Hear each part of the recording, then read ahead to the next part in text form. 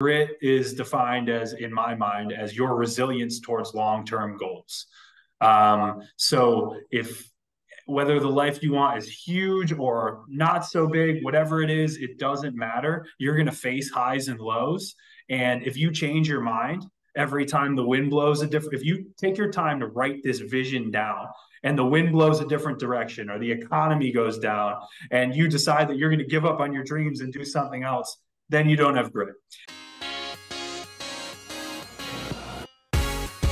Hello, everyone, and welcome to the Moeller Real Estate and Business Podcast. I'm your host, Phil Moeller, and on this podcast, we will be interviewing guests that have made their mark in real estate, in business, and in other areas of life. Listening to podcasts myself has helped me in so many different ways and continues to do so. If you're a real estate investor or an entrepreneur, or aspiring to be either, or just someone that wants to learn, you've come to the right place. An easy way to have an impact is to share this episode with friends or family, provide a review, or just spread the word. We greatly appreciate it, and now let's get to the show.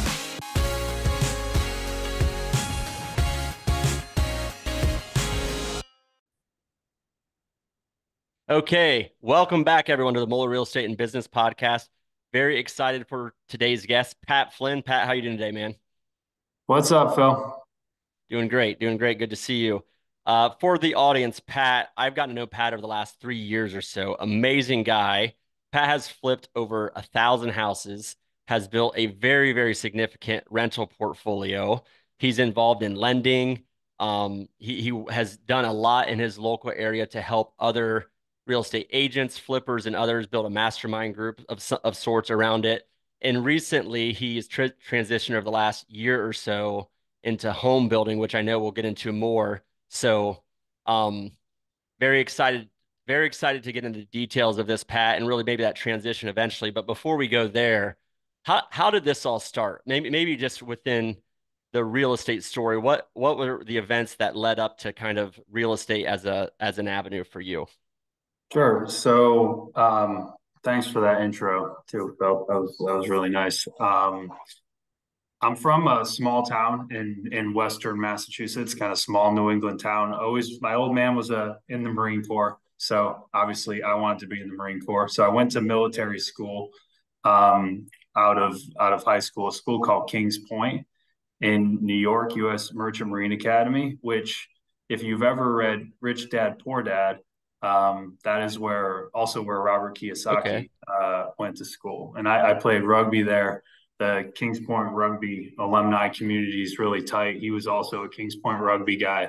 Um, so interesting. He yeah, it's kind of cool. Uh, he comes back to Kings Point every once in a while to just speak to the senior class just for free because it's his alma mater. And I was fortunate enough when I was a senior um, to have him come and speak. And I've always like you know, you kind of have that um, entrepreneurial spirit when you're younger. I've always been like weirdly into money.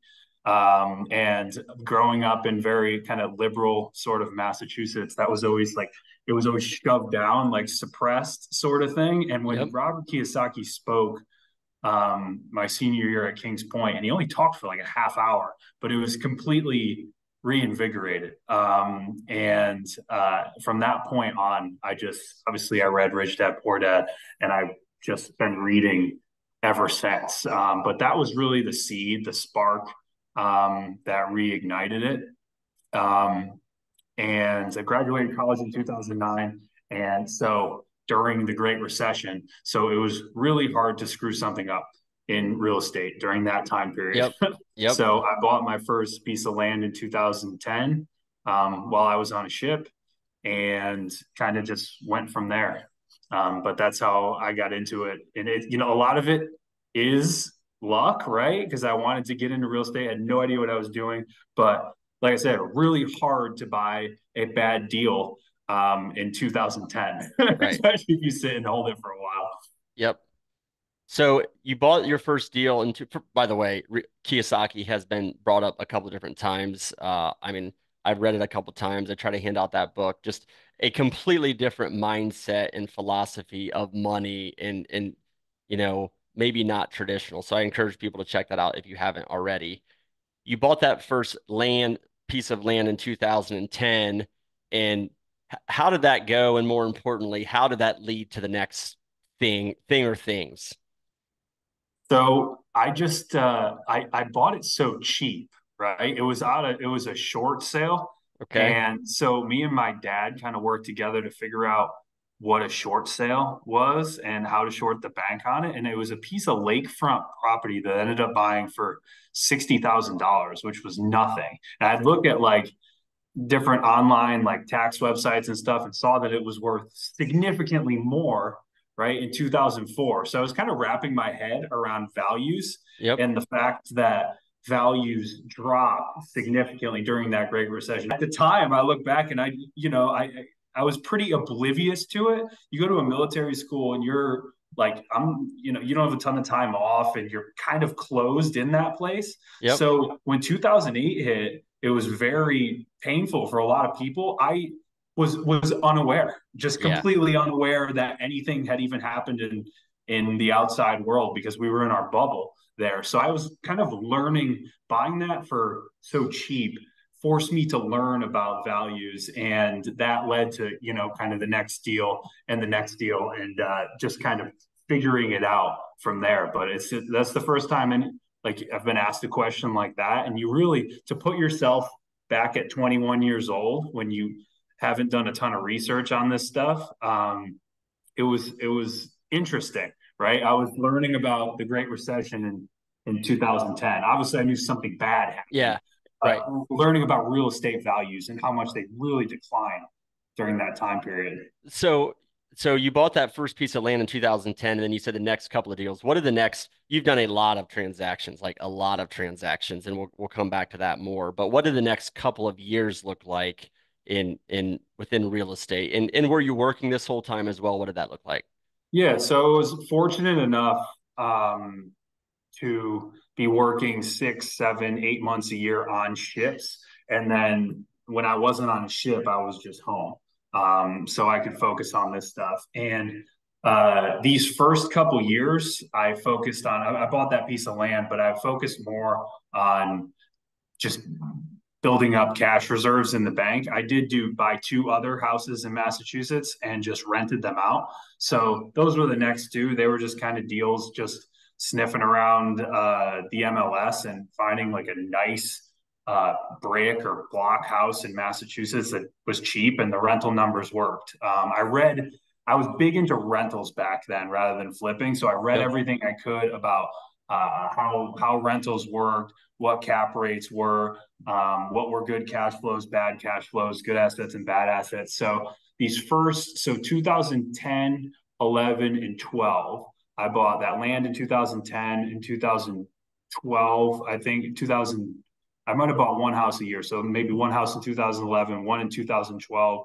And then in 2013, I moved to Florida. And when I moved, I sold everything up in Massachusetts. Okay.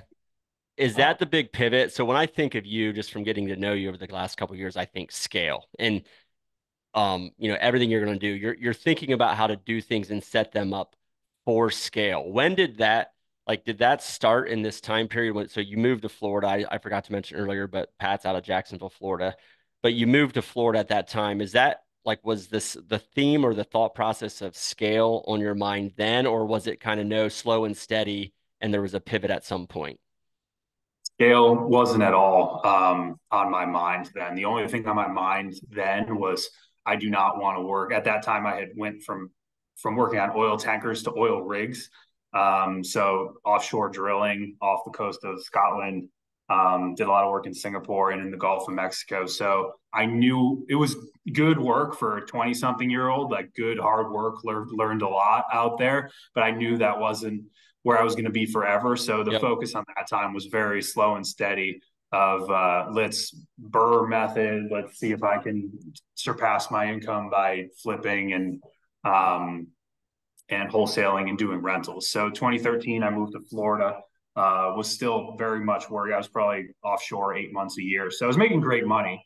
Uh, and it was kind of hard to get traction once I moved to Florida. I immediately, you know, joined all the networking events in Florida for real estate investors. Like I had some cash from the stuff in Massachusetts, so um, I bought three rental units um, in Florida and started sending out a bunch of marketing, kind of wholesaling stuff. And during that time period, kind of interesting, um, it's long days on on the rigs. It's it's twelve hour shifts, so six in the morning to six at night, and then you usually do four hours of overtime, seven days a week. So it's six o'clock in the morning till ten o'clock at night, seven days a week out there.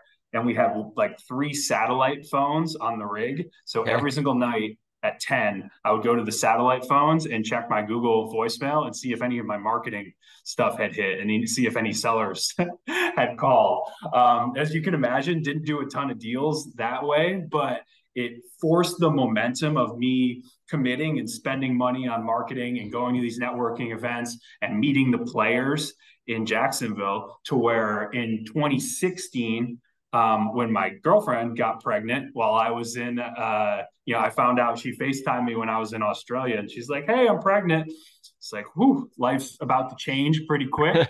I needed to, uh, cause I, we didn't have any family in Florida. So, um, at that point I quit offshore, offshore drilling in 2016, started full time, but luckily I had always been good with my money. So I had a bunch of money saved up um, this transition wasn't super difficult because I had been in the space since 2010, kind of slow, but I was still doing marketing and going to these networking events and I, I, was plugged in already you know what i mean i wasn't like reading a book for the first time in 2016 when i quit right. so right. it was an easy transition once i once i was home full time and i got really focused on the marketing piece of it uh, 2016 2017 was a fantastic time to market in Jacksonville, Florida. We did, I did really well um, the first year. And then uh, I, I, met my business partner in early 2017, and we partnered up in mid 2018.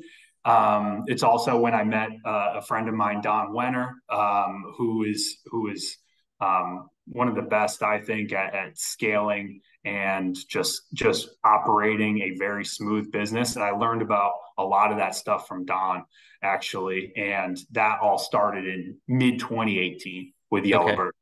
Okay. okay.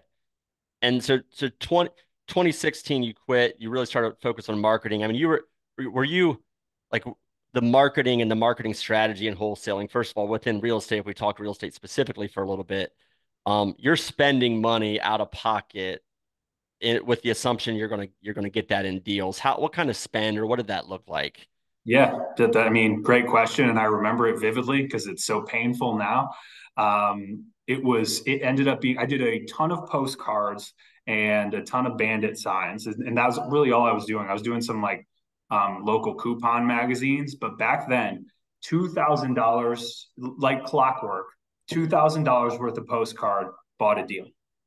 Every like like clockwork, over and over again I spend two grand worth of postcards, I get a deal. And I was spending, you know, I, I was spending 15, 20 grand a month back then. Um, so we were doing, I, I, was doing a good amount of deals. And, and I say we, um, because I wholesaled a lot, but I also JV'd a lot during that time period. And if there's anyone new to this listening to your podcast, it's like that is a great way to get started is don't like if i had bought all those deals myself and tried to flip them and manage contractors and do deals i would have failed right yeah. but because i jv'd with some people I, I i borrowed money and let other people do the renovations and just take a smaller piece of the profit i was able to do way more deals it's um, it sounds like i mean you were looking for first of all you were leveraging the time you had and the strengths you had is what i just heard is that okay what is t- time available? You could you could do some hustle where maybe some partners or other people had money, but they didn't have the time to hustle. Right.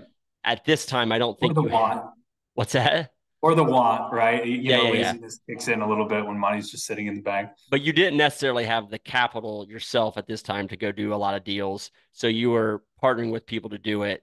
Um, and you had the knowledge to do it as well. Is that I mean, I, I just again in general, you figured out what you can do and then leveraged and partners with other with others to accelerate your growth absolutely i mean uh, you, you know entering this space you know a lot of people enter the wholesale route because uh, that's one of the greatest and worst things about the wholesale business is there is no moat whatsoever. Come to your market, spend a little bit in marketing, and be right there with you in front of in front of those sellers on those deals. Yes, like it takes time to learn sales techniques, and there's some nuances to it.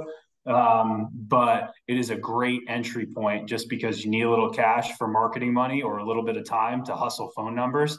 But um, very low mo business and a great way to get to get into it. So what was next? So 2018 timeframe, you're you're kicking off. I think it's when you started Yellowbird and more flipping, and that really right. was there like a shift there to okay, how do we grow this? How do we scale this? How many can we do? How like what did that transition look like?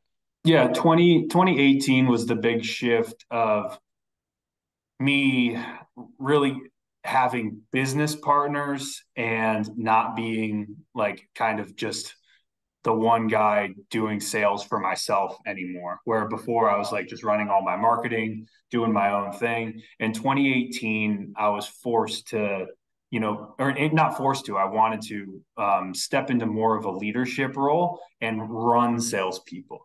Um, and help people learn this business and start to make money and have uh, have a team under me. Um, and that was that was that transition point there. Um, and I learned a lot during that time period about the importance of vision, the importance of accountability, and I learned all that by um, completely uh, screwing it up uh, the first couple times around. So 2018, I think to 2023, you really grew this business um, quite a bit. I mean, what did what did at the peak? Uh, maybe this was 2022, but at the peak of your flipping business, what did that look like? Uh, maybe transaction volume, sales, whatever sure. you want to share. So yeah, and I'll just give you every year so it doesn't look like a crazy transition. But uh, 20, 20, 2017, I remember I did 72 deals total. Um, 2018, uh, with with my me and my business partner together, we were probably in the you know 175 range, and that big jump was be from adding a business partner too. It wasn't from adding a sales team. So that was like me and him combined. Yep. Um, and then 2019 was probably two mid 200s. And that was from adding a salesperson, me and my business partner hustling pretty hard. Our peak was 2021 2022 which was a lot of people's peak in the single single family business yep. but uh, at our peak we were had about 55 employees um, that included all the property management people and VAs and everything, and a 12 person um, sales team that I ran. And uh, we did 425 deals that year. So bought 425 single family homes in 2021. And in 2022, we were just around the same. We were around 420 deals. So we were humming there uh, for a little bit so just to put it in con, I'm sure people are doing the math, but 425 deal. I mean, darn near not quite 10 a week, but yeah. more than one a day. You're yes. doing it. You're doing a deal. You're closing a deal. And by the way, every deal is is typically two transactions. You're buying it and you're selling it. If you're flipping it, I know you held some of those throughout that process too. But yep. it, and if just for the audience, I mean, this is where Pat is a a leadership guy, but also systems, processes, structure. Like you have to, you couldn't even get to 425 deals if you didn't do that. Or if you try to do 425 deals, you would be working nonstop. You'd probably be losing money if you didn't have this, if the structure, the people, the process, all that stuff in place. So just to, I guess I'm trying to give context to the audience of, of who you are and, and how you structure and set things up as we, as we transition into the next part of the discussion. So, 2020 with that like you you can add as much structure as you want to flipping that many houses. Like but it is loose at best. As much as i love good systems and processes and discipline and following them i mean good luck buying 425 houses that all different ages uh 12 crazy salespeople, you know, all in their all in their twenties, running yep. hard, um, and going on, you know, 15 appointments a week each and having to look, it was just, it was a chaotic time. So what Very was, the, so if it was, I mean, so what was the key to success for those two years? Like if you, in like, what was, what made you win during that time period? Extreme discipline with the salespeople. Um, I had a phenomenal team. Uh, I love them. The deal is made on the front end the sale on the back end, it didn't matter as long as you bought a good deal. And I was extremely overly focused on the front end because, you know, you remember during those time periods, as long as you bought pretty well. It was hard to get hurt. Um, so the key to success was extreme discipline with the sales crew, uh, extreme discipline with my numbers. So at, at our peak, we were spending 400, $450,000 a month on marketing. Um, and we knew our numbers to a T exactly how much a deal costs, how much a lead costs per marketing source, where the, where the deals were coming from. So uh, we were crazy about analytics, crazy about salespeople discipline, and you have some stuff slip through the cracks, of course, but that was where the money was made during that time period. So the discipline with the sales team, I mean, you said sales team and numbers, but the discipline with the sales team, does that mean like setting goals, setting metrics, holding them accountable? following numbers, like uh, leads, lead generation process? Like, what is that? What you, what does discipline with the sales team mean? It means all those things. Um, it, it's it's an eight forty five meeting in the in, uh, seven days a week. Um, no, we didn't do it Sunday, but eight forty five meeting Monday through Saturday. Everything you were doing that day. Hey, what's your one thing? Your most important thing? It's uh, two sales accountability meetings a week where we go over everyone's numbers.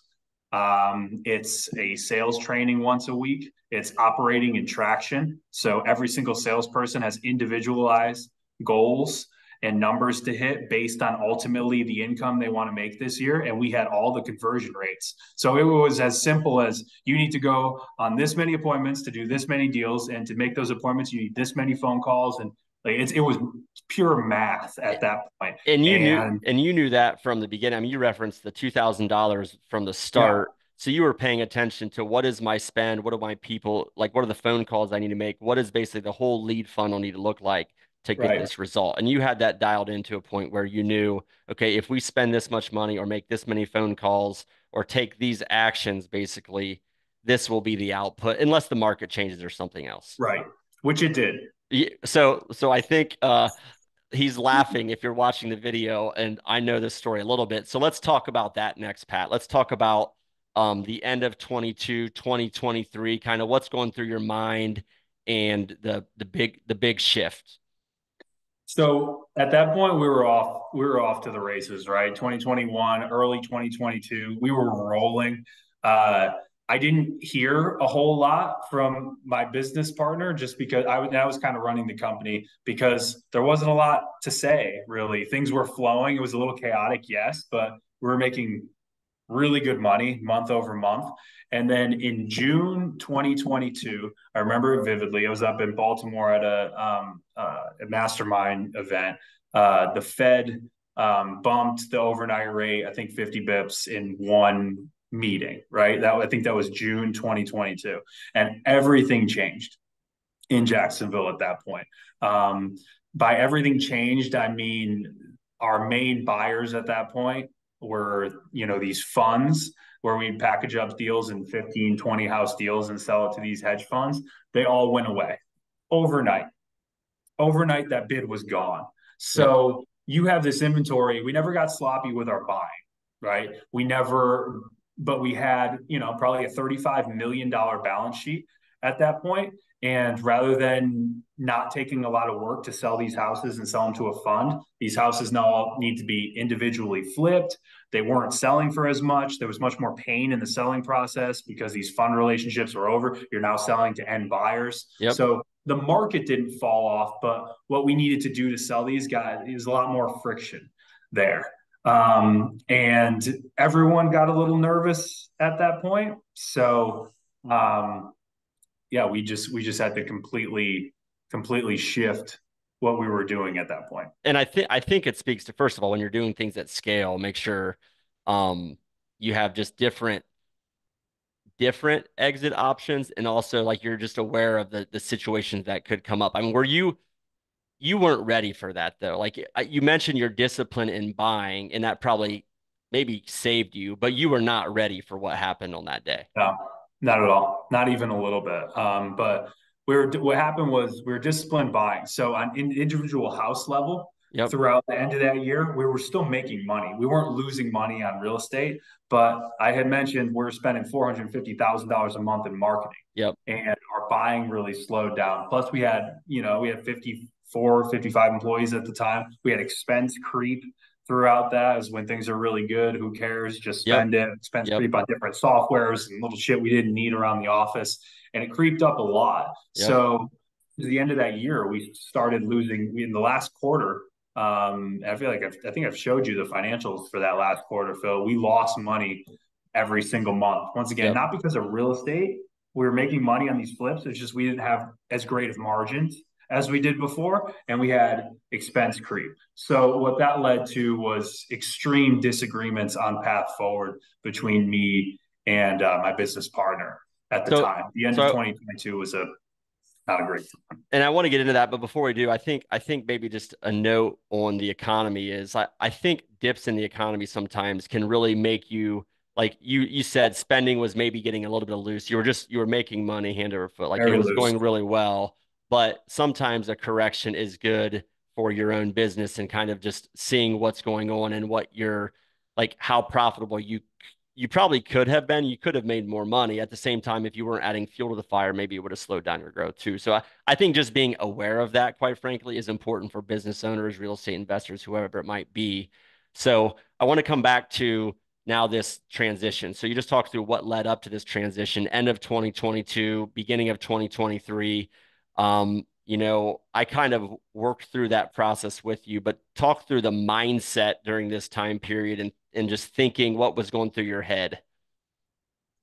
So the the basic disagreement between me and my partner at the time, and once again, I wasn't necessarily right um, or wrong, and he wasn't necessarily right or wrong. We're just different people. Yep. Um, he he basically wanted to shut it down and go back to really just me and him and a couple of helpers um, and just kind of wait this out and see what was going to happen which you know once again wasn't wasn't wrong but uh, it wasn't necessarily him that built up the team and the processes and the systems yep. and the leadership and everyone there. So i cared deeply about it and i would i convinced myself that it could be saved. It just needed a pivot um, I have always kind of, I knew I wouldn't end up in the we buy houses business. I've never really liked it for myself. I don't see myself there 10 years from now, not putting the business down at all. It's a fantastic business, but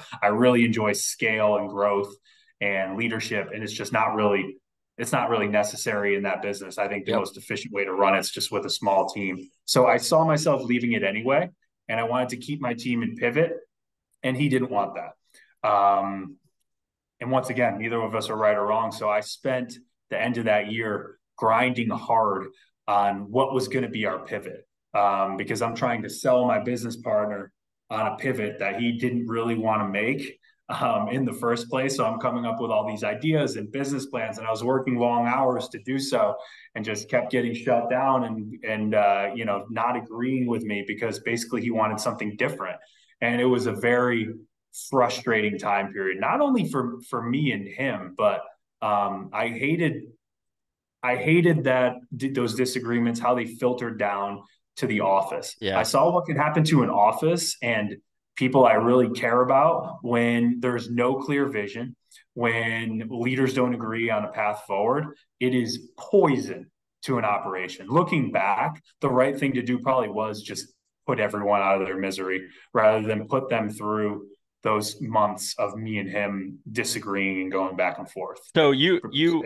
you had this time period where you didn't you didn't really know what to do though. So like what do you what do you do in that time period? I mean what like what do you do when you don't you were you were unclear. So what was the process? What like what were you thinking? What what did you do when you didn't know what to do? Step 1 for me was hey, I can't figure this out. It's time to work harder. Um, so that's what I did. I I worked really hard. I worked really long hours. Um, and Phil, you've seen some of this stuff too. I made spreadsheets of business plans and different routes to go, and tried to figure out what the strengths of the team were. Because um, ultimately, I was not passionate about We Buy Houses. I'm not necessarily passionate about any particular business. I'm passionate about leadership and growing a team. So I, I was looking for something that was a little more systemizable that had that had ability to scale. And I worked really hard, really long hours trying to figure out, pitching different ideas, calling business brokers. Um, and I felt like the harder I worked, um, the further I got away from the answer. Um, and the breakthrough was when I decided to go the other direction um, and focus not on work for a little bit and just spend more time with my family because that situation was getting a little stressed because of as much as I was working. So I started just not working at all on weekends, not even a little bit. And I started taking Wednesdays off too. Um, and just hanging with the wife. Um, I changed up my diet a little bit. My workouts started getting more on point. Um, I started reading more kind of fiction and random stuff. So I stopped working even Monday, Tuesday, Thursday, Friday when I did work, like it was very half-assed. I'd like answer, I'd answer emails for a little bit, uh, maybe do like a couple deals, maybe buy something, but it was not, I was not working hard. I was working out a lot, like taking two hour lunches to work out, going to lunch and breakfast with Jane. And my relationship with my wife got better. My relationship with my kids got better. Um, I got in even better shape. I felt even, I was getting better sleep. And that's when things started to become clear. So it's crazy. It's counterintuitive, right? I yep. thought I had to work really hard to find this answer, but instead I focused on myself and the answer became really clear. Man, there is uh, there is a lot to unpack there. So first of all, we kind of talked about the economy and the challenges and what it can do, and um, just like in your business, it can make you look at things closer. But then it got to a point where it didn't. You weren't really doing that, and you're like, I just need to step away and get out of your business, right? You're and until you got out of your business, could you like you were working so hard in your business during that time period and grinding and trying to figure things out not until you got out of your business, stepped away, did you get more clarity on, okay, this is the direction I think I need to go. So I think the lesson for the listeners is just if you're in your business constantly day to day and in the weeds and in the details, you are not going to have the impact you can on your business if you're a 10,000 feet out of the business, overseeing things and, and quite frankly, getting away from the stresses of the day to day parts of it. At least that was my takeaway from it. Let me, let me do one one more thing from what you said there, Phil, uh, because I think when when you make the uh, uh, the you make the accusation that someone's working in their business, not on it. I don't think I was doing that. I I wasn't working in the business day to day. I was trying to vision for what this business was path forward. I I felt like I, I was at that thirty thousand okay. foot level, trying to look forward. I needed to stop working completely. Yeah. Not not on the business, not not on systems process. I just needed to stop working and focus on my wife. Yep. I, I needed to focus on calling my friends. I need to focus on working out um, and just spending time outside, not working. Um, that's where that's where the breakthrough. And I think it's getting so. I think maybe it's said differently. Is it's the keep getting farther away from your business and that's when the break you had to get really far away from your business to get the breakthrough um, mm-hmm. so it's just there's different maybe there's different levels of that if i if i were to say it differently. So what did you pivot to? What did you do? So you had the breakthrough you got clarity in 2023 what was the next thing? Sure. So um, i had mentioned before we are incredible I, I was good with this i was good with running the sales team and i enjoyed it but i think it took years off my life as well. And i w- didn't want to go back to a sales oriented business. Um, what I really enjoyed was working with my leadership team on systems, process, operational stuff. So I mentioned before I was looking for something a little more of a widget based business that had the potential to scale. Um, home flipping can only be scaled a certain level. I want to work with high level people, so I needed a business that had legs beyond Jacksonville that could that could grow bigger. So um, that was that was the first requirement. Um, the second requirement is that need to be kind of a fit for us. So I looked at every scalable business you could imagine, including like like I was looking at like bail bonds. I was I was going all that down these crazy roads, but I had spent the last since 2010 like learning and being involved in the real estate community. So I built all these real estate connections, which take a lot of time and are not easy to just create overnight. So I'm like, why would I completely leave all this work I've done in the real estate world um, to go do to go run McDonald's franchises or something like that. Even though I do, uh, I don't necessarily care about the business. We already have our roots here. We already yep. know what a transaction is. We already know all the hard money lenders. You know, we already know all the wholesalers. So um, I loved the home building route because it is a widget based, scalable business that also has a, a very important real estate component um, and a very important capital component. Uh, which I felt like I had skill, I have skill sets in all three of those pieces. So it just became so clear that this was the perfect path for us a widget based business of building a house to in teaming it up with um, a little bit of development problem solving, a little bit of capital problem solving, and buying land. Um, and we already had kind of those connections. So it was just the perfect, not only the perfect business for us and my team, but it was the perfect time too, because things were cooling down. Um, vendors started picking up their phones because things weren't as crazy as they were. And uh, um, the transition has been so natural and and just felt so right. Um, and what what stands out for me there is is you're you started to evaluate different businesses, different options, but what was really key in that process.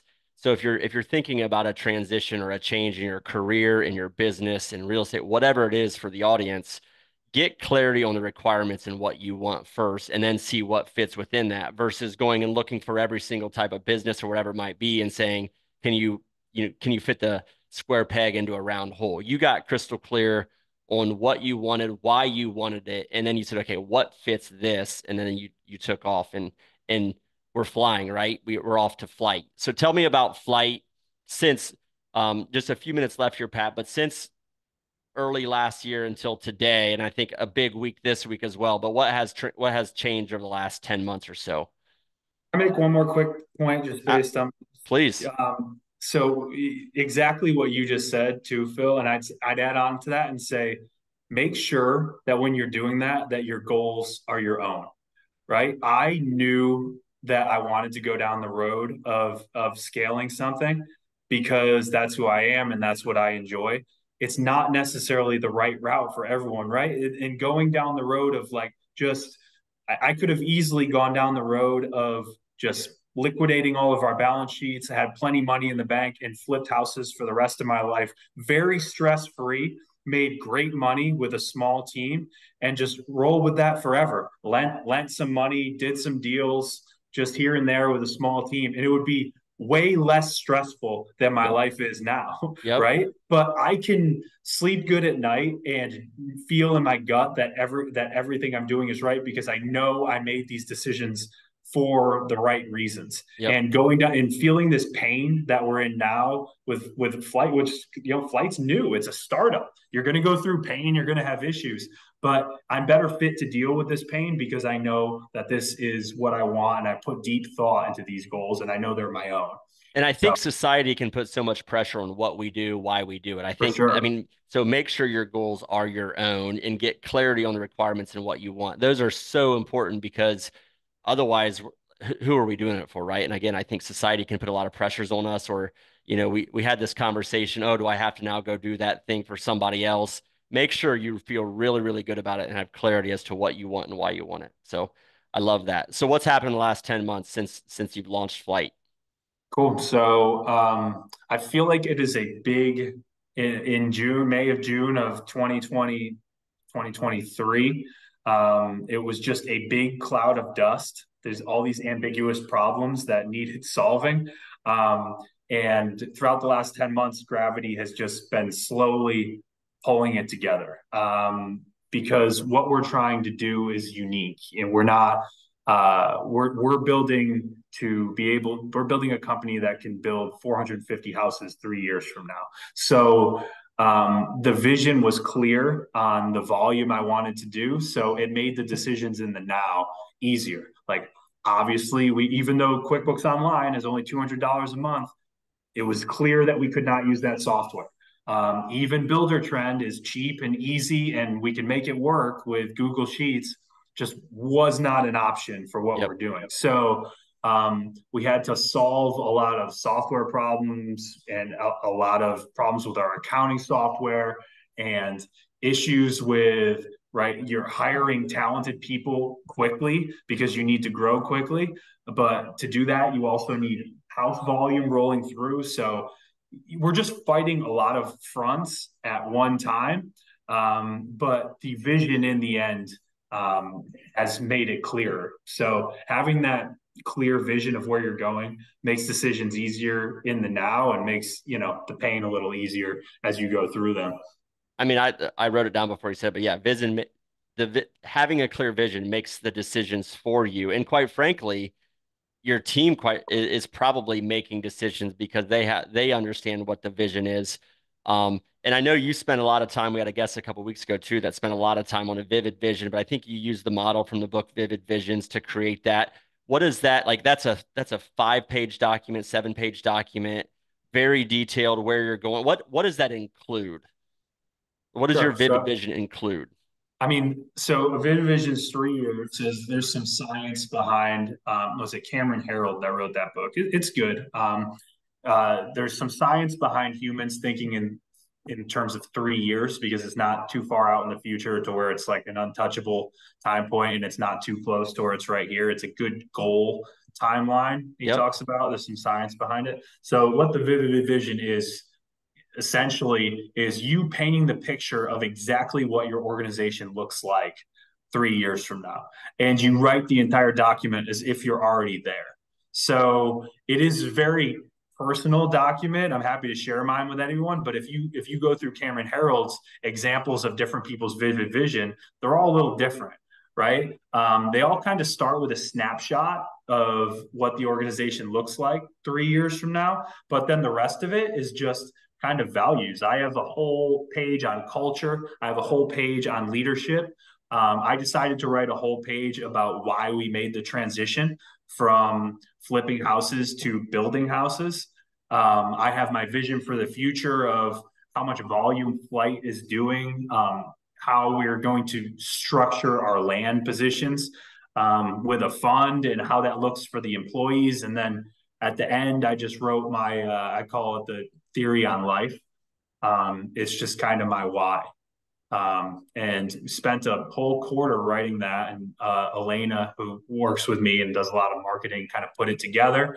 And it turned out as kind of our guidebook for the future to be referenced at any time. And it's just, it was, it was some of the best work uh, I've done that quarter because, like you said, Phil, it gives everyone guidance in the office. And I would just, any, again, any business leaders, quite frankly, not just business leaders, business owners, real estate investors, but getting clear on your vision. This doesn't need to be a business topic, right? This can be a business and personal topic, any area of life, getting clarity as to what you want, where you're going, and then using that three year marker and designing your life around what you're looking for, I think is a very, very valuable process. Absolutely. Uh, I think Cameron Herold and the some of the examples he has are he, his vivid vision just for his personal life and his family. So that was actually my rock um, last quarter was uh, doing my my personal one. It's just it's a weird thing happens when you write it, Phil. Um, and I know I was telling you like six months ago when I finished this one, it's like it it almost feels like it becomes inevitable if you take the time to write it and Elena, like me and Elena working together on the aesthetic of it, the pictures, and went through the printing process, and I hand it to everyone and everyone that will take it from me, I hand it to and email it to people.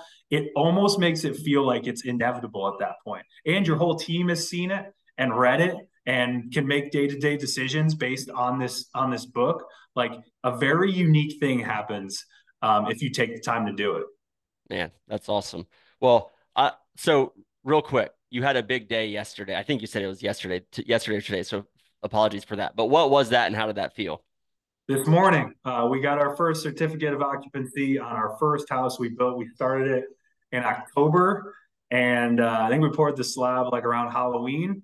And uh, we just got our CO today, so it took about five months, four and a half months to do, but that includes the holidays too. And no one felt like working in the holidays.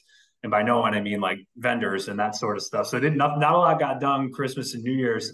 And we still did it in like four and a half months and kind of prove the concept that we could build and CO a house with the team we have. And it was just so exciting. It was this morning. Um, the, the whole team just it, just a great feeling. Like, tell me about uh, that a little bit more. It's is it validates what you're doing, right? Because there's a lot of us starting this home building company. There's a lot of negativity behind it because we are we are very much screwing up the old guard that's here in Jacksonville, right? So a lot of negativity, a lot of calling vendors, telling them not to work for us. There's all sorts of shit going on behind the scenes, all sorts of people saying we couldn't do it. And the fact that we just CO'd our first house is so incredibly validating. We have a long way to go. Um, and, you know, I'm not going to lie, we're still in the danger zone. We're still a startup. We still need things to flow. Um, but this point shows that we can do it. And it gives every, like everyone at the office now sees, holy shit, we just CO'd a house. We have permits flowing through maybe this is possible, right? Right. I mean, I hope they believe me on a day to day, but and think about what the team has think about what the team has learned by doing the first like the first one is by far the hardest one.